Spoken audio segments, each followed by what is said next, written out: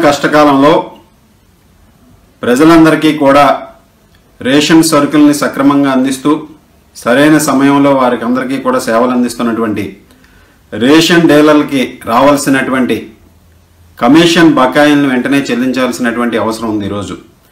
గత ఏడు దఫాలుగా కరోనా మహమ్మారికి ఎదురొడ్డి వారి ప్రాణాలను ఫనంగా పెట్టి రాష్ట్ర ప్రజలందరికీ కూడా సరైన సమయంలో రేషన్ అందిస్తున్నటువంటి రేషన్ డీలర్లు వారి కోరికల్ని ఈరోజు ప్రభుత్వం తీర్చాల్సినటువంటి అవసరం ఉంది.